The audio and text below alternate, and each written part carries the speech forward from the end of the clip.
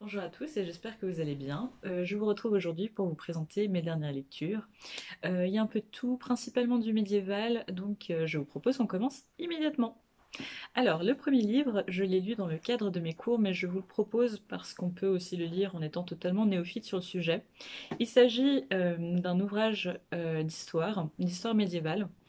Il s'agit Les revenants, les vivants et les morts dans la société médiévale par Jean-Claude Schmitt aux éditions euh, NRF, donc Bibliothèque des Histoires.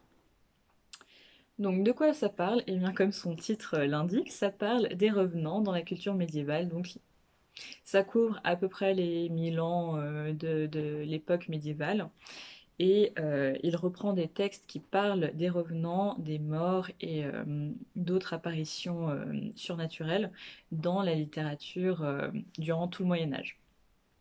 Jean-Claude Schmitt est un historien qui a beaucoup travaillé euh, sur ce genre de questions, sur euh, l'histoire culturelle aussi, euh, sur la démonologie, l'au-delà, le rite, les corps, dans, la, dans la littérature du Moyen Âge.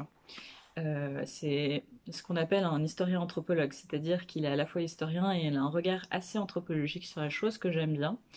J'aimais des limites à ses arguments, mais ça reste très intéressant. Et euh, si euh, la question des revenants, surtout en cette période d'Halloween, vous intéresse, je vous le conseille. Il est facile à lire, il est vraiment intéressant, abordable et euh, il peut donner de belles pistes de réflexion. Donc je vous le conseille fortement. À l'intérieur, vous avez aussi de jolies illustrations en couleur et comme vous le voyez, j'utilise pour mes cours. il est vraiment très bien, je l'ai emprunté à la bibliothèque. Je pense que la plupart des bibliothèques, en tout cas universitaires, l'ont. Et à mon avis, même les bibliothèques l'ont parce que c'est ce genre d'ouvrage d'histoire un peu, pas vulgarisé, mais disons avec des sujets un peu sexy, entre parenthèses, euh, sont des livres qui ont du succès. Donc je pense que vous le retrouverez. Euh, est-ce que j'ai des critiques à lui donner? Euh, Non, il était vraiment bien. Parfois, il a une approche un petit peu psycho-historique qui me dérange, mais, euh, mais c'est quand même très intéressant. Ce que je veux dire par approche psycho-historique, euh, c'est qu'il utilise la psychologie pour expliquer des phénomènes historiques. On pourrait avoir un débat là-dessus. Personnellement, je ne suis pas trop d'accord avec ça. Donc voilà, ça me dérange, mais c'est un point de détail. franchement, si vous voulez lire un ouvrage historique sur un phénomène que l'on retrouve en cette euh, veille d'Halloween, je vous conseille Les Revenants les vivants et les morts dans la société médiévale par Jean-Claude Schmitt. Je vous conseille aussi son livre, je crois que c'est euh, Le corps et les rites, qui est vraiment bien aussi. Donc, euh, donc voilà. D'ailleurs, si vous avez aimé certains livres de Jacques Le Goff, qui est un autre grand historien, euh, vous aimerez ceux de Jean-Claude Schmitt. Donc, donc voilà, je vous le conseille. Même si vous ne faites pas d'études en histoire, etc., il était vraiment sympa et, j'ai aimé le, livre le lire en cette période d'Halloween. Ensuite, on va peut-être rester dans le Moyen Âge. J'ai lu un pavé, mais vraiment un pavé. C'est un, pavé. J'ai lu, bien évidemment, Le crépuscule et l'aube de Ken Follett. Donc, il s'agit du dernier livre de Ken Follett. Euh, je pense que tout le monde connaît, en tout cas euh, c'est un livre assez connu, euh, Les Piliers de la Terre, donc euh, sa fameuse trilogie qui se passe au Moyen Âge. personnellement j'avais lu le premier tome, je l'avais adoré, mais je, n'ai jamais lu la suite. Et le résumé de celui-ci, donc son tout dernier, qui fait quand même, je pense, 1000 pages. Non, qui fait, qui fait 900 pages se passe euh, un peu avant euh, les piliers de la Terre au même endroit, donc ce qui deviendra Kingsbridge. Et euh, pour ceux qui sont familiers avec les ouvrages de Ken Follett, la construction du récit et son style ne vous étonnera pas. Pour les autres, Ken Follett est un auteur qui, qui écrit ces énormes, j'ai envie d'appeler ça roman fleuve, je suis pas sûre qu'on dit vraiment ça pour expliquer ce que je veux dire. Mais en tous les cas, je vais dire roman fleuve. Euh, si vous avez un meilleur terme, n'hésitez pas à me le mettre en commentaire, je serai heureuse de l'apprendre.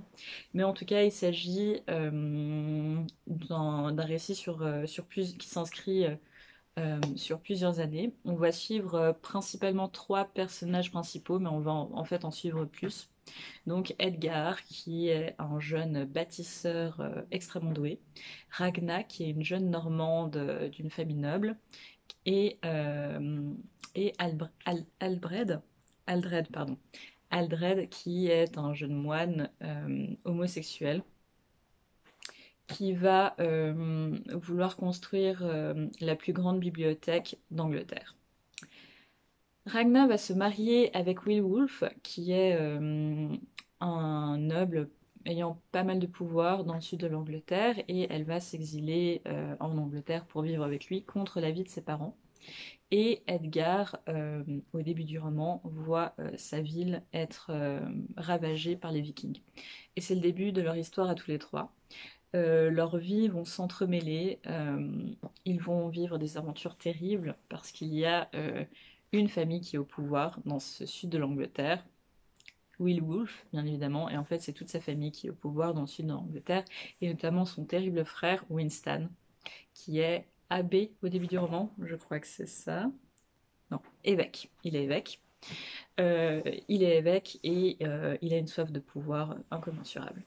On se situe en l'an 997, au tout début du roman, et on avancera comme ça au fur et à mesure des ans. Euh, c'est vraiment bien. Enfin, je pense que je dis aussi ça parce que j'aime beaucoup le Moyen Âge, mais franchement, c'était super. Je l'ai lu en quelques jours, euh, d'une traite pratiquement. Enfin, autant qu'on peut lire d'une traite un roman de presque 1000 pages, mais en tout cas, je n'arrivais pas à le lâcher. Et sur la fin, il était 2h du matin, euh, enfin, c'était cette nuit du coup, il était 2h du matin et je l'ai, allez, allez, je veux la suite, je veux la suite. Et du coup, je l'ai lu. C'était vraiment génial. Euh, pour ce qui est des points positifs, le premier, euh, j'ai adoré Aldred. J'ai trouvé ce personnage vraiment très touchant, très bien, euh, très bien agencé. Il est à la fois fin, bienveillant, mais il, sait aussi défendre ses intérêts. Il, ne perd pas courage. Et j'ai beaucoup aimé qu'on dépeigne un personnage homosexuel. avec tous les questionnements que ça pourrait poser au Moyen Âge. J'ai beaucoup aimé Ragna aussi, que j'ai trouvé extrêmement intéressante, et Edgar aussi, bien qu'il m'ait rappelé d'autres personnages dans les Piliers de la Terre. Mais euh, je comprends pourquoi euh, l'auteur a fait ce choix-là, et vous le découvrirez en lisant l'ouvrage. Euh, l'histoire était passionnante, Winston était très bien fait, parfois un peu caricatural, je dois avouer, mais j'ai vraiment passé un bon moment. Euh, j'ai beaucoup aimé que l'auteur euh, ne fasse pas non plus une tragédie de ce roman. C'est-à-dire, il y a des choses terribles qui se passent, vraiment dures, mais euh, il y a aussi de très beaux moments, des moments d'entraide, d'amitié, d'amour qui sont beaux. Et du coup, ça vous permet de rester dans, dans l'ouvrage, en fait, et de ne pas juste être accablé par des éléments ou des événements négatifs au fur et à mesure du livre, bien qu'il y en ait.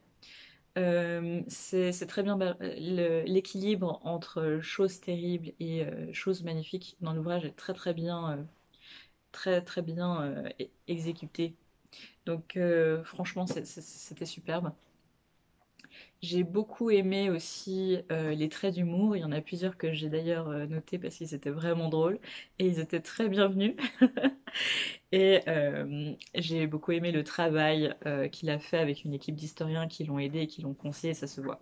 Au début, ça m'a dérangé, notamment au début, il y a une petite digression sur le mariage à cette époque qui m'a gênée parce qu'on sentait que c'était l'auteur qui notait les, les remarques des historiens, etc. On, aurait pu s'en passer. Néanmoins, je, salue le travail qui a été fait sur ce bouquin. Je crois que hum, pour le traduire de l'anglais, il y a 1, 2, 3, 4, 5, il y a 5 traducteurs qui se sont relayés pour pouvoir le sortir le plus vite possible. Donc euh, je salue aussi euh, euh, cet effort. Et, euh, c'est vraiment génial. Donc euh, moi j'ai acheté euh, l'édition France Loisir, mais il me semble que c'est pas France Loisir qui, l'édite. mais voilà, j'ai acheté l'édition France Loisir.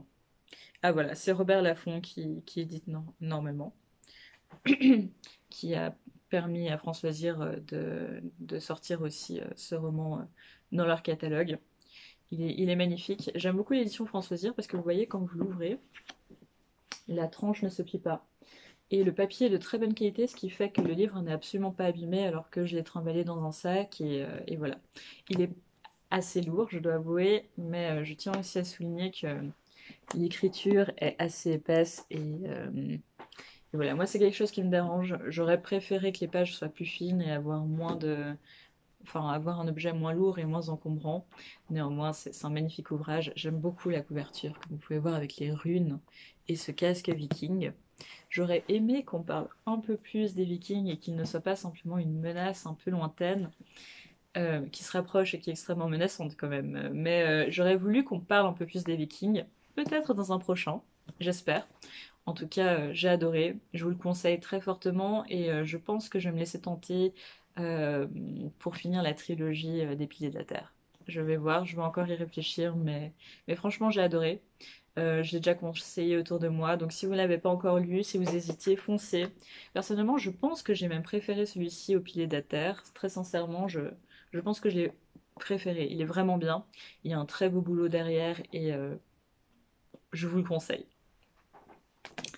Et finalement, un autre coup de cœur, j'ai lu Le crépuscule de Shigezo de Sawako Ariyoshi aux éditions Folio. Alors, de quoi ça parle? Euh, Il s'agit euh, d'une jeune mère de famille, Akiko, dans les années 70 au Japon, qui va euh, devoir s'occuper du père de son mari, Shigezo, après la mort de sa femme. Et en fait, très rapidement, cette famille va découvrir que le père de son, mari euh, tombe dans la démence parce qu'il est, parce qu'il est âgé. Et Akiko va devoir s'occuper de lui parce que au Japon, et en particulier à cette époque, mais encore aujourd'hui, il est normal, entre guillemets, euh, pour la famille de s'occuper des personnes âgées. Et étant donné que c'est normalement le mari qui travaille et la mère qui reste s'occuper des enfants, c'est également elle qui est censée s'occuper euh, des personnes plus âgées de la famille qui auraient besoin de soutien. En sachant que le système euh, social au Japon n'est pas vraiment très très bien développé. Et justement, c'est un livre qui parle de ça. C'est un livre euh, qui parle d'une euh, descente aux enfers pour Akiko, qui petit à petit voit euh, son monde s'effondrer parce qu'elle aimait travailler, elle aimait son indépendance, et elle se retrouve avec un, homme qui l'a toujours détestée, à devoir s'occuper de lui, à devoir sacrifier sa vie pour un beau-père qu'elle n'aime pas. C'est aussi une histoire touchante entre elle et Shigezo, parce que justement, on a l'impression au début que Shigezo est la pire personne de l'univers, il n'est absolument pas sympathique, mais néanmoins il y a des, il y a des lueurs d'espoir, il y a des rapprochements entre les deux personnages qui sont extrêmement touchants et très très bien, euh, très très bien écrits. On voit aussi euh, le fils d'Akiko qui doit gérer euh, ses concours pour entrer à l'université ou au lycée, je sais plus, mais en tout cas ses concours scolaires très importants au Japon et la mort de sa grand-mère et en plus ce grand-père qui devient de plus en plus fou. On a aussi des, réflexions très intéressantes du père, de, enfin du, mari d'Akiko, qui voit ce père euh, tomber en ruine quelque part et qui, euh, si vous me passez l'expression, et euh, qui, s'angoisse beaucoup sur sa propre fin à lui, sur la manière dont ses enfants vont s'occuper de lui quand il sera vieux, etc. C'était un très très beau roman. Euh, il me semble que Sawako Ariyoshi, j'avais lu d'elle euh, Les Dames de Kimoto, et il me semble qu'elle aussi avait une très belle réflexion sur la vieillesse et sur la mort. Et je retrouve sa plume. C'est une plume délicate, euh, incisive aussi, extrêmement incisive. C'était beau, c'était un moment de réflexion. J'ai Ça fait une semaine que j'ai fini et ça fait une semaine que j'y repense parce que vraiment ce livre m'a remué. Euh, je vous le conseille, euh, il, pose de très très belles réflexions. En plus, il est sorti en poche, donc, euh, donc il ne coûte pas très cher. Il était, il était vraiment beau. Il était vraiment beau, je ne peux que vous conseiller. Foncez, foncez, découvrez-le. C'était une très belle, très belle histoire dans le Japon des années 70, euh, sur, sur euh, le rôle des femmes dans cette société, mais aussi sur l'amitié, sur l'amour, sur la piété filiale, sur tellement de sujets importants pour le Japon. C'était vraiment bien, je vous le conseille. Donc, euh, voilà. Donc voilà, c'est fini pour mes dernières lectures. je pense que je vous retrouve la semaine prochaine pour une nouvelle vidéo sur mes updates lectures. En ce moment, je lis pas mal et j'en suis, suis, contente, même si je suis consciente de ne pas lire suffisamment, en tout cas à mon goût, mais euh, voilà, ça s'arrangera. Je voulais vous remercier euh, mille fois pour euh, le nombre de vues de, ma dernière vidéo, ça me fait vraiment très plaisir. Merci aussi pour les pouces j'aime, ça me fait vraiment vraiment plaisir. Et pour les nouveaux abonnés, je vous remercie vraiment mille fois de, de vous être abonnés. N'hésitez pas aussi à l'occasion à laisser un commentaire en dans la, dans la barre des commentaires, ça me ferait super plaisir de vous lire. Dites-moi ce que vous avez lu ces derniers temps, euh, votre coup de cœur du moment, ça me fait toujours plaisir et ça me permet aussi d'avoir euh, d'avoir des, des inspirations pour mes prochaines lectures. Je vous retrouve à bientôt, je vous fais des bisous. Ciao ciao